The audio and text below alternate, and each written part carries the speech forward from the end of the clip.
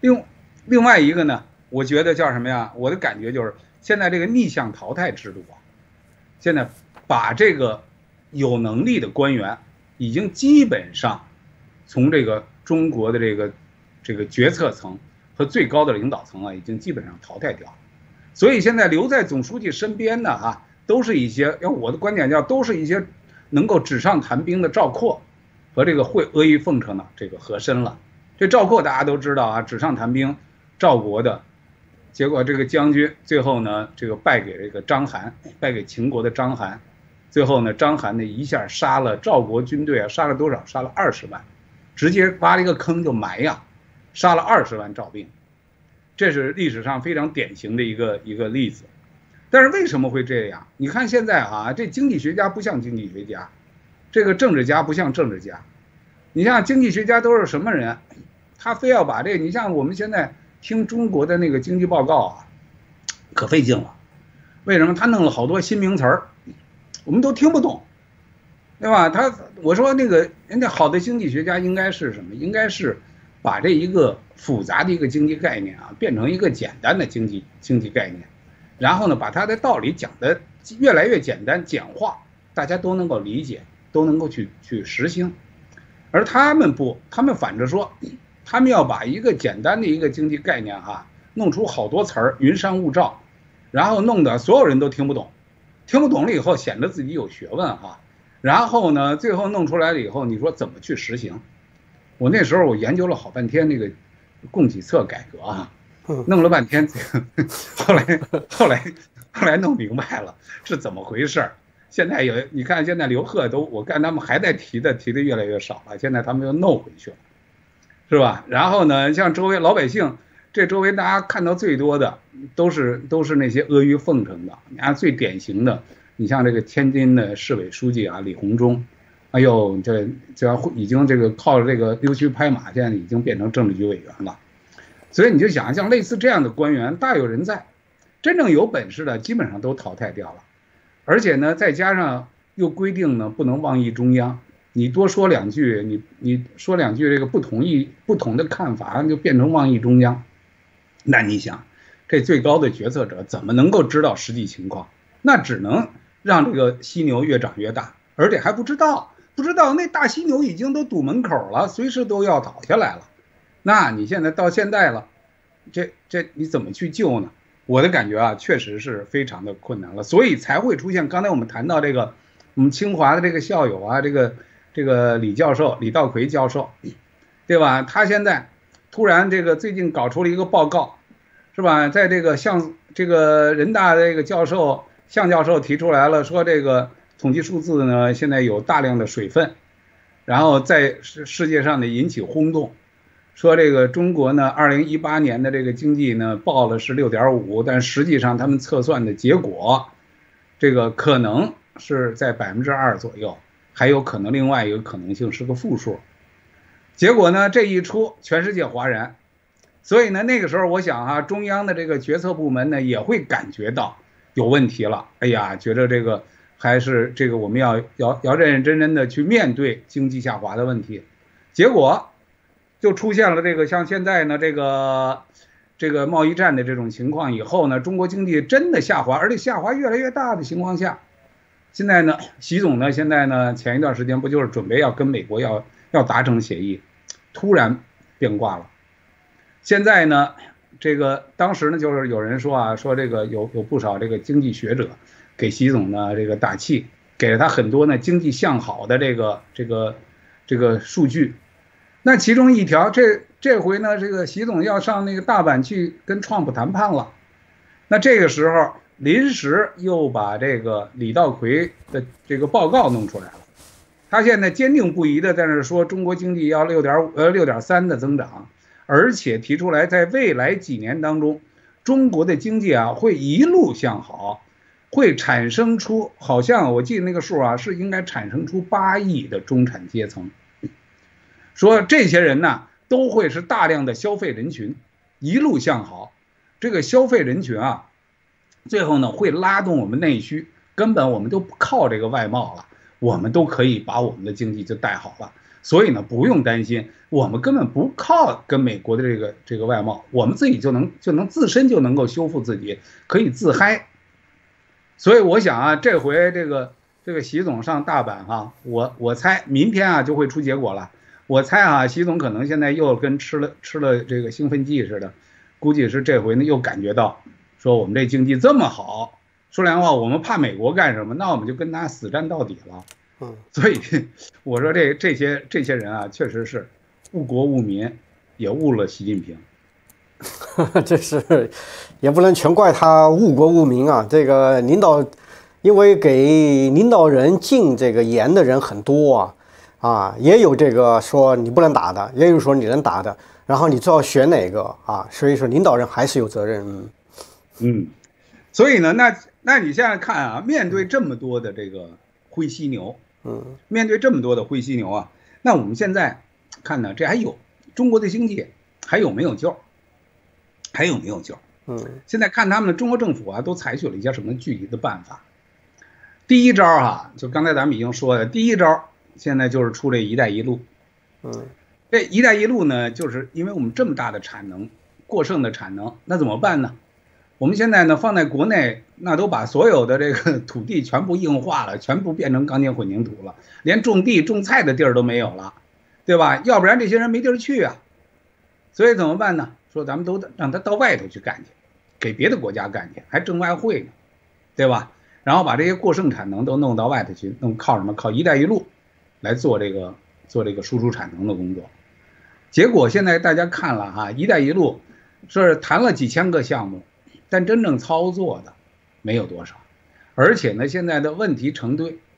为什么呢？现在真正的这个有钱的国家，经济条件好的，修了一带一路了以后，确实能够给中国带来效益的，那这些国家呀，现在都在观望，或者呢，都是心存余虑，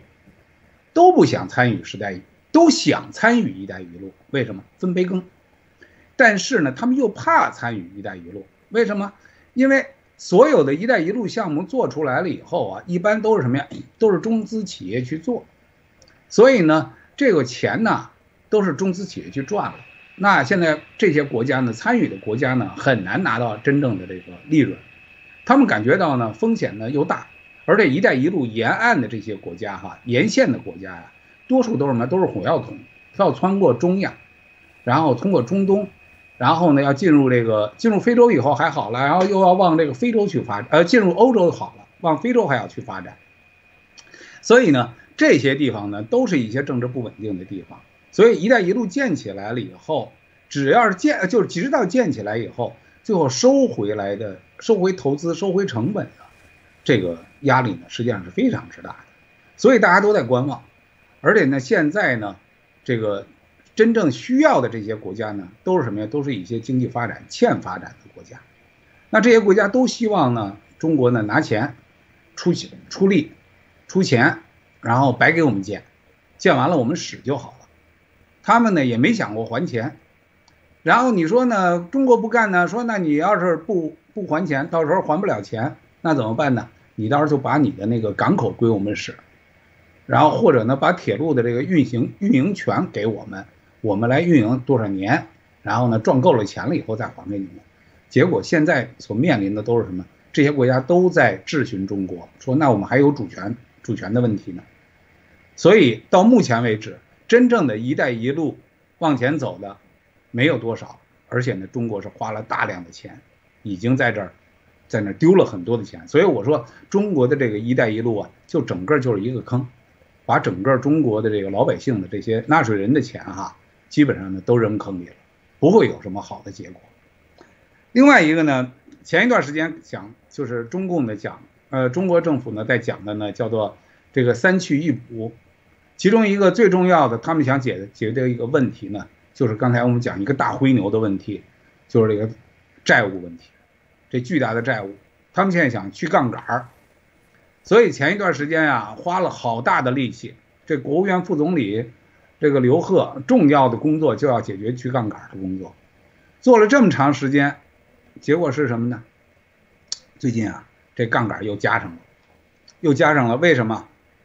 说这个去杠杆啊，原来叫做不惜要这个，连这个李克强都说要以这个断叫壮士断腕的这个决心来完成这个去杠杆，结果现在怎么样？去了杠杆了以后，产能减下来了，大量的企业倒闭了，然后失业的人口啊没地方安置了，经济衰退了，最后大家认为啊，这都去杠杆干的，有没有可能？确实是有这个问题，这是一个矛盾的嘛。但是现在是什么呀？兜了一大圈又回来了。最近大家看见这个去杠杆啊，又开始加上了。最典型的哈，一个今年在大量的又开始借债了。现在，而且不仅是中央政府借债啊，中央政府现在刚刚我看的这个报道哈，现在今年要搞一个叫做旧房改造，旧房改造一个项目哈，现在的这个要准备举债多少？四万亿，四万亿旧房改造的这个债务，然后这就要加上了，接着要有多少？又是准备了四到五万亿给地方政府，鼓励地方政府发行债券。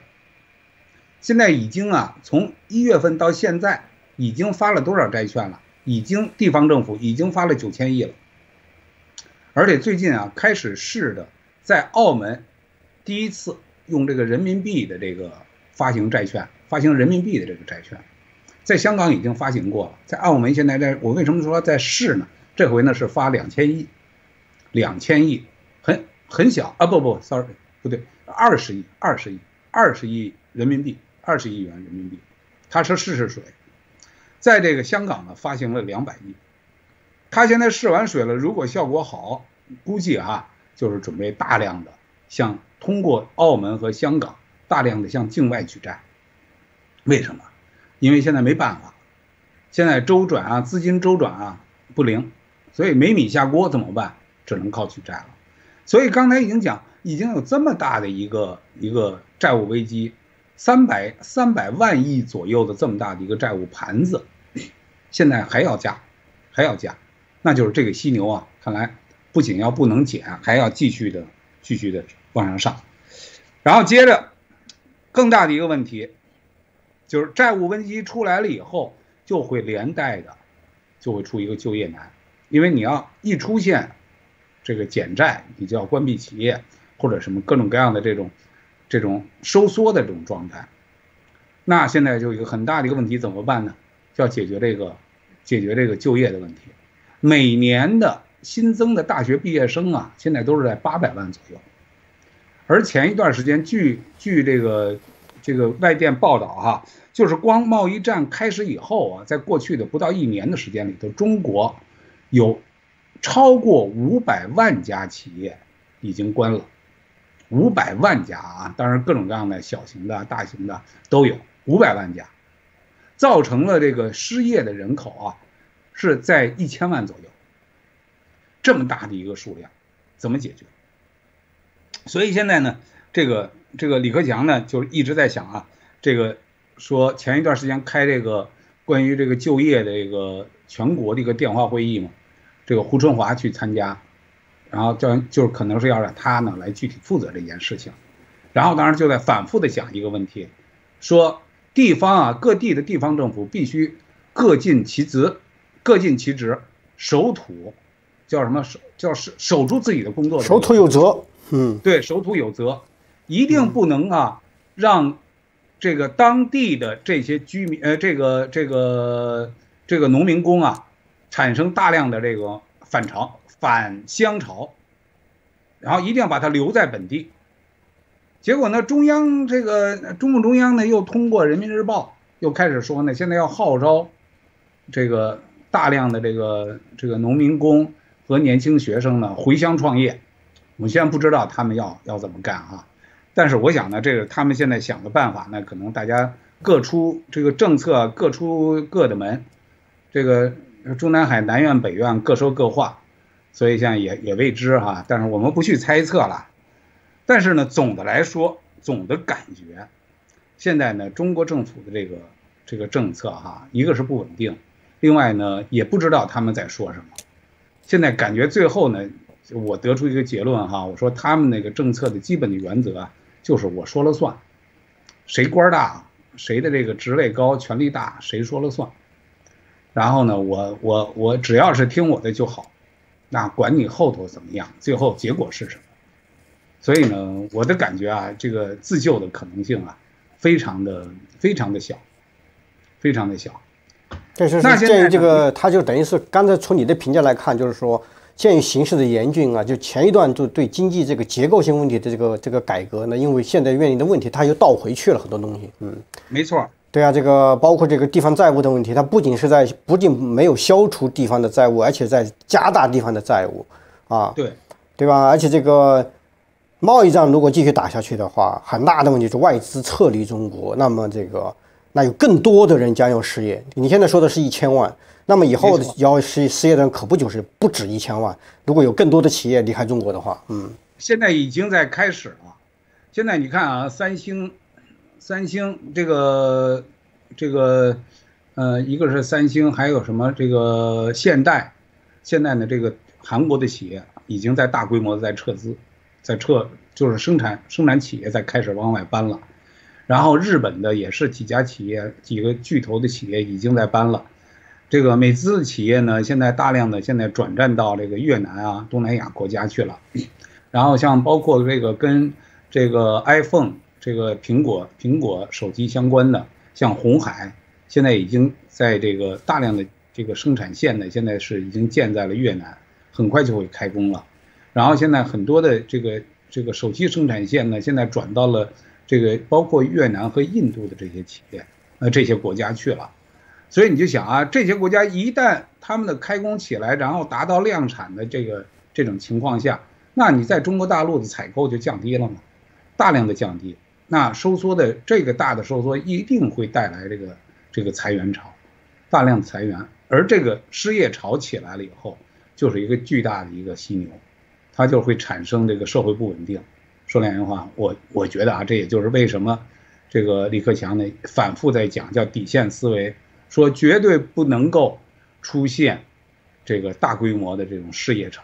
因为失业潮这种社会的不稳定因素，那谁也承受不了。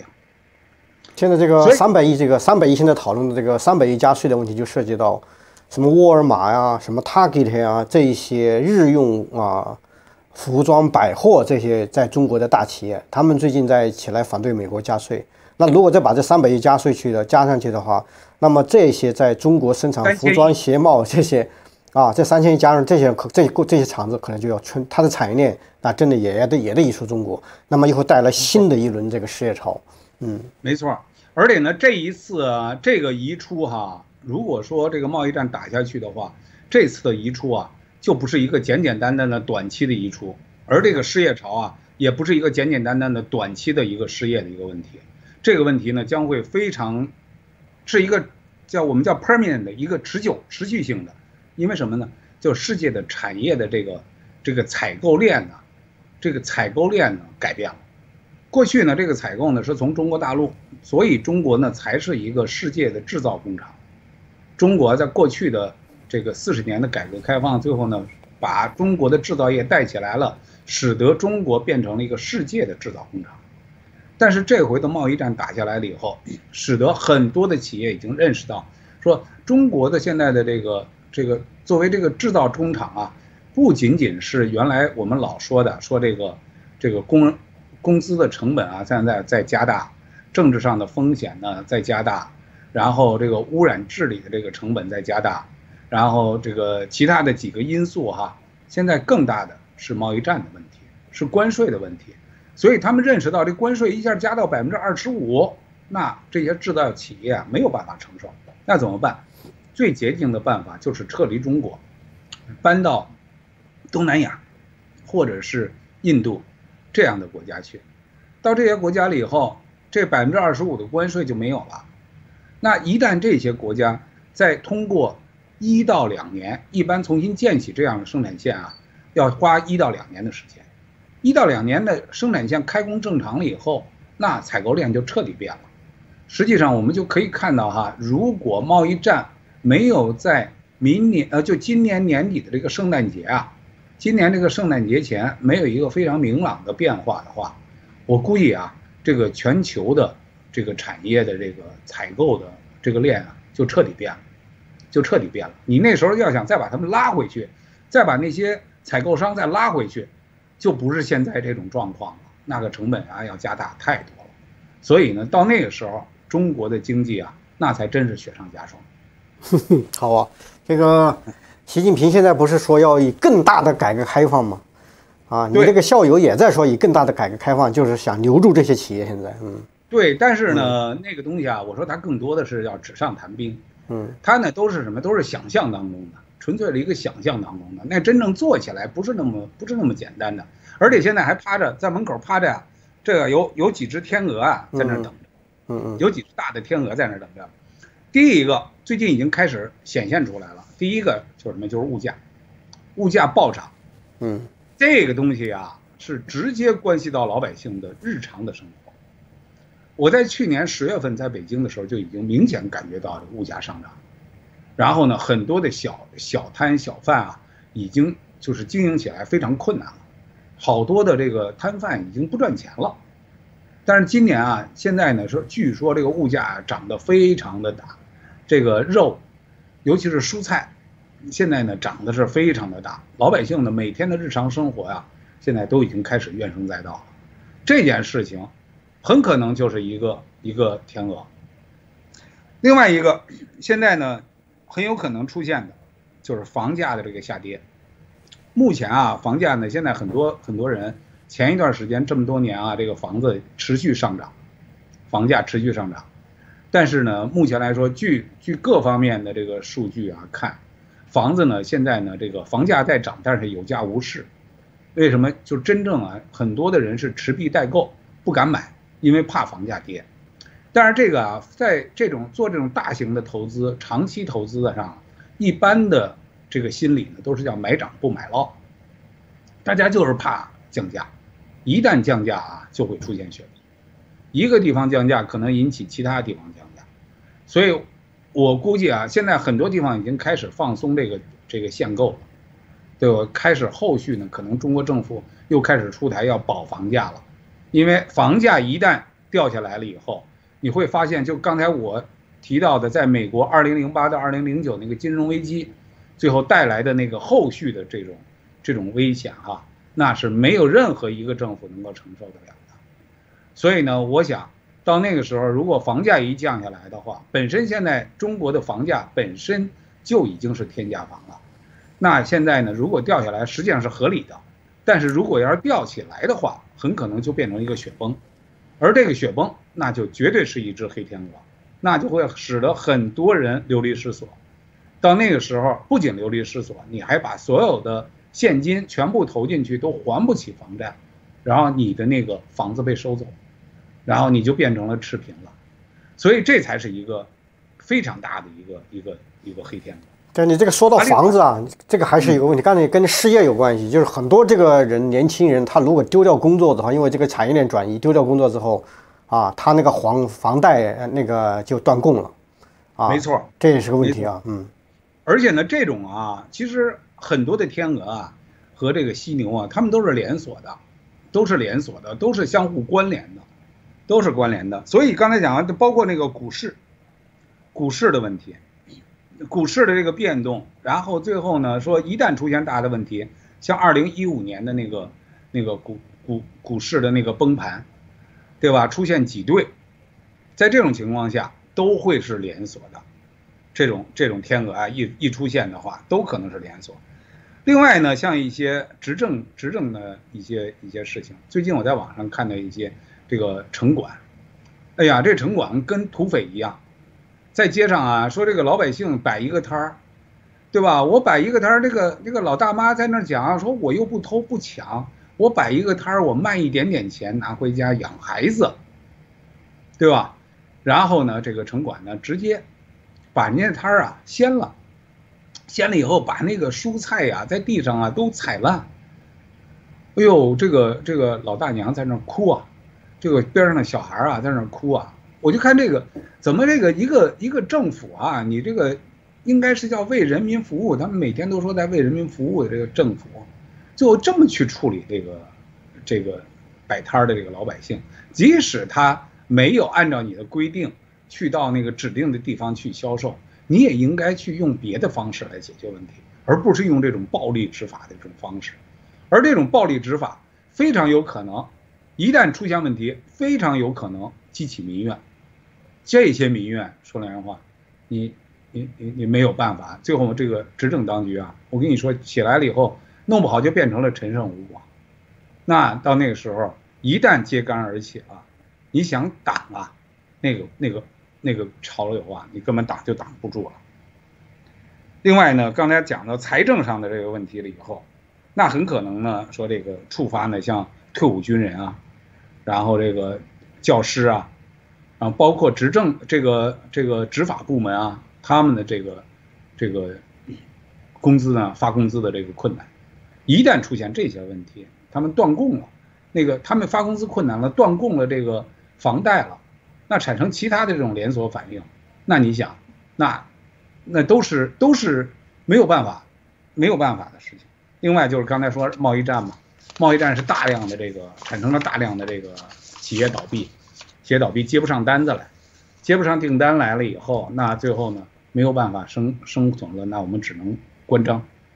然后另外一个天鹅，你比如像前一段时间的这个香港的，对吧？这个两百万人上街游行，先是一百一百零三万，这官方说去了去了这个二十万，后来人家说你说你不你不报真数，结果过了六天，是吧？两百万上上街，最后反对这个。送中法案，结果现在现在只能靠中国大陆老百姓都不知道，只能靠封网才能够才能够把这个消息给它给它封持住，对吧？大家不能够知道这些消息。但是像这些事情，一旦最后让中国老百姓看见了，大家怎么这叫有样学样，大家呢也都会学，对吧？两百万人上街了，这全香港总共有多少人？才七百三十万人。将近三分之一的老百姓上街了，反对反对这个林郑月娥，这个他的执政的方式，对吧？最后呢是怎么办呢？最后林郑月娥现在就最后就停下来了，就要把这个他这个送中法案要收回了，对吧？至少现在叫暂停了。最后大家现在就集中的一个想法，老百姓的一个基基本上的一个想法就是什么？就是只有说最后大家用这种团结起来。不合作的这种方式，最后才能够解决问题。那你想，这个对于执政的这个政府来说，这就是一个黑天鹅。一旦黑天鹅起来了，那刚才讲都是连锁的，那它就一个接一个，一个接一个，那很有可能就出现当年二零零八年到二零零九年那一场席卷全球的金融危机，那就是风暴了。